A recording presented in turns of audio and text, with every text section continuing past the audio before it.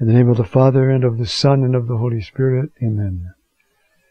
Heavenly King, Paraclete, Spirit of truth, you who are everywhere present and fill all things, treasury of all that is good and master of life, come, dwell within us, cleanse us from all stain, and save our souls, O good one.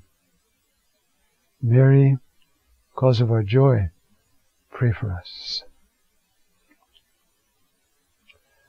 Well, today we're going to work on uh, the 19th Sunday in Ordinary Time. Uh, and the theme is still Eucharistic. It's beautiful how this, as we go through these warm summer months, the liturgy is instructing us on how we're strengthened and fortified by the Word and the body. And so I want to talk first now about the sacramentality of the Word. We've been looking at that. I want to give you, uh, we read that other text in um, Verbum Domini number 35, 36. I want to read you one now from number 19 and try to develop a bit because it's quite beautiful. This is the Pope now. A key concept for understanding the sacred text as the Word of God in human words is certainly that of inspiration. It's, that's what he's talking about in this part of the Verbum Domini. Here too, we can ex- suggest an analogy.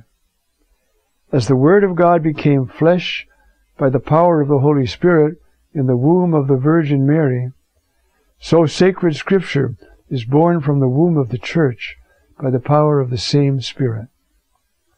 Sacred Scripture is, and he's quoting here, the Word of God set down in writing under the inspiration of the Holy Spirit. That's from Dei Verbum at the Council. And then it goes on. St. Ambrose, on the duty of ministers, that's a quote from him. In this way, one recognizes the full importance of the human author who wrote the inspired text, and at the same time God himself as the true author. So, he's pointing to a dimension of tradition that has not been well recognized for a long time. That is how uh, the Word of God became flesh in the Virgin Mary. And that Word delivered by the angel, received into her being, you see, was the way by which the Word of God Himself took up life in her flesh. And she's the model for the way the church should hand on the word and the way the church should receive the word. Uh, it's that powerful. And uh, we, we already seen the other text where uh, the Pope, again, uh, invoking a long, very long tradition of the church, you see, which says that the uh, Word of God is food. And then we have those beautiful texts, we've looked at them, of uh, receiving and living by. And that, that Word of God at the liturgy of the Word, at the, at the Mass, that Word of God is analogous. The presence of Christ there is analogous to the presence of Christ in the Eucharist, in the bread and wine after the consecration. And for the same reason, the overshadowing of the Holy Spirit. So what I want to do now is just look at some texts uh, from the fathers of the church and from some modern authors to try to awaken in us this sense. So that when the reader stands up there the Sunday and says, a reading from the letter of St. Paul to the Romans, or whatever the first reading would be, wouldn't be usually from Romans.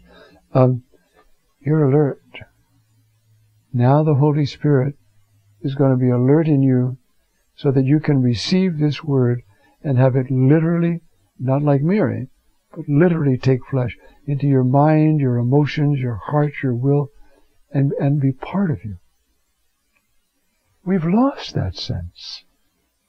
Um, I'm going to be utilizing, while I do this, the work of a very fine uh, uh, young uh, Lutheran minister uh, who uh, did his doctorate on this, taking his inspiration from that text of, Saint, of Pope Benedict I just quoted.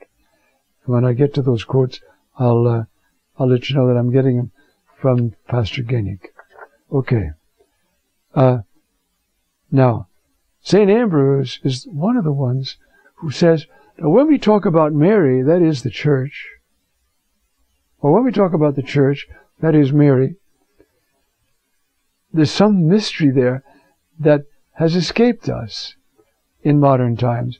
And yet, Hugh Rahner, this is the brother of Karl Rahner, has a whole book called Our Lady and the Church, and it's just full of these kind of statements about the uh, interpenetration of Mary and the Church. Here's one now from St. Ambrose. How beautiful are those things which have been prophesied of Mary under the figure of the church. Prophesied about the, you know, talking about the church, but in an ultimate sense, talking about Mary. Her womb bore the Christ, just as the church's womb, the baptismal font, gives birth and conceives Christians. This, as I'm sure you know, is a, a constant theme in the early fathers of the church and in the liturgies.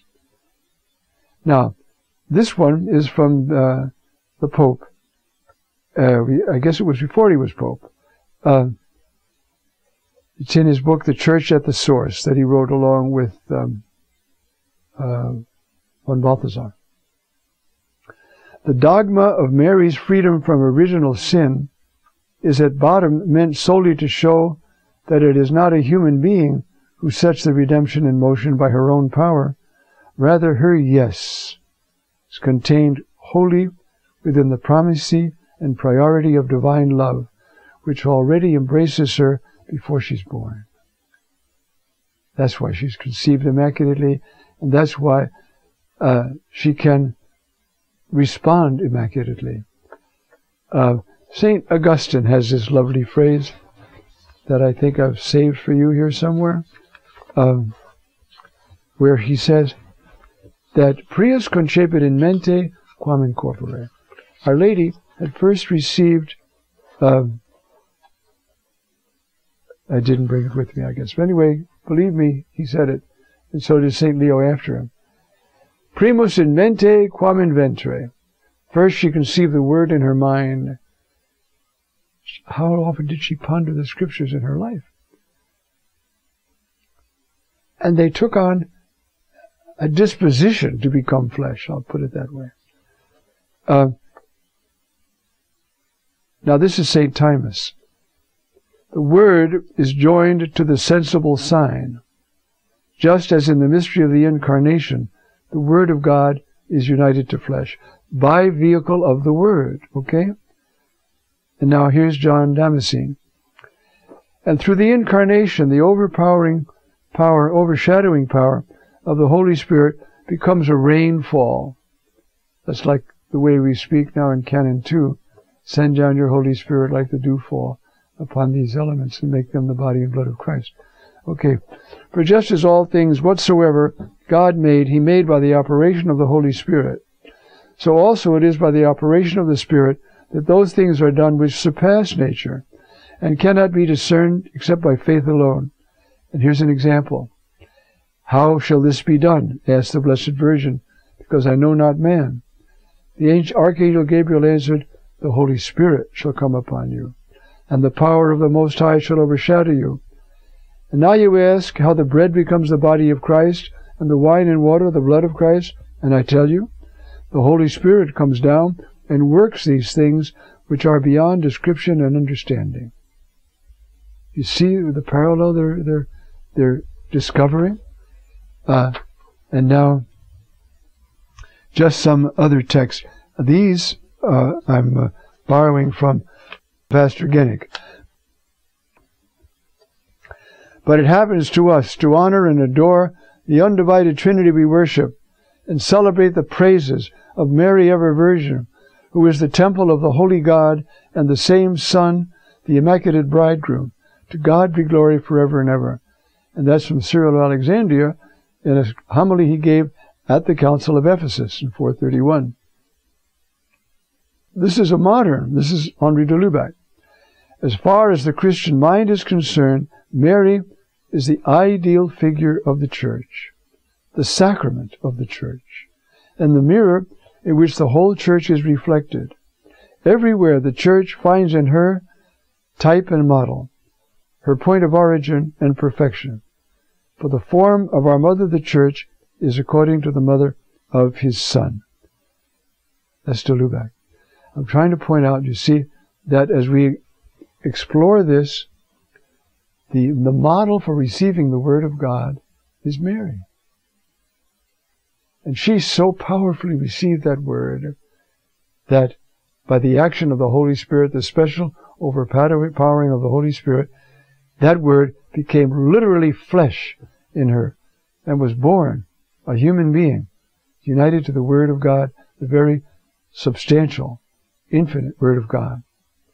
But that's the process that's meant to take place in our life, particularly at the liturgy, but also in that continuation of the reading of the scriptures at the liturgy, which we do in our own reading. It's not a private reading. We're never private. How can we be private? We're part of the body of Christ. So as we let that happen to us, it affects the whole body of Christ. Um, now, uh, here's a text from uh, a Rahner. Uh, this is uh, Hugh Rahner. Thus, the early church saw Mary and the church as a single figure. Type and antitype form one print as seal and wax. And Irenaeus of Lyons, whose thought derives from Polycarp, the disciple of John, and therefore directly from the heart of Christ himself, sees in the words of the angel to Our Lady a prophecy of the church's kingdom to come. Isn't that remarkable? You will conceive and bear in your womb a, son, a child, and he will be called Son of the Most High. Okay.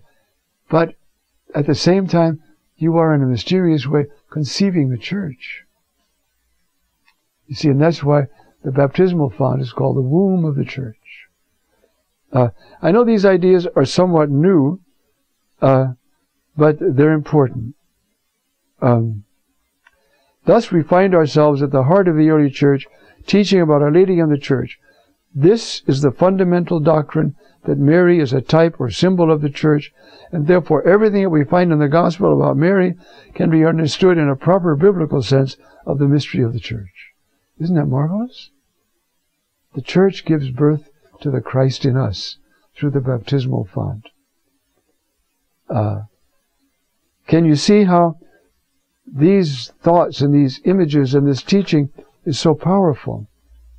And that's why uh, Pope Benedict, as Pope, uh, again, I can read that for you. It's uh, Verbum Domini number 19, uh, where he says this, and I'll read it, read it by way of conclusion because it's quite remarkable. A key concept for understanding the sacred text as the Word of God in human words is certainly that of inspiration, which we'll be talking about later. Here, too, we can suggest an analogy. As the Word of God became flesh by the power of the Holy Spirit in the womb of the Virgin Mary, so sacred Scripture is born from the womb of the Church by the power of the same Spirit. Now, that means what? That by anticipation, Israel is forming an anticipated womb of the church because those scriptures were formed before the Lord was conceived in the womb of Mary. I hope you don't find that too abstract or too confusing. Uh, the main point I want you to get from it, and I hope you get it, is the awesome beauty of the written Word of God as bearing the Christ to us. And if we learn to receive it as she did, Mary, even before she conceived the Word in her womb, she was reading the Scriptures. And that's why both St. Augustine and St. Leo say she conceived the Word in her mind before she conceived him in her body. Amen.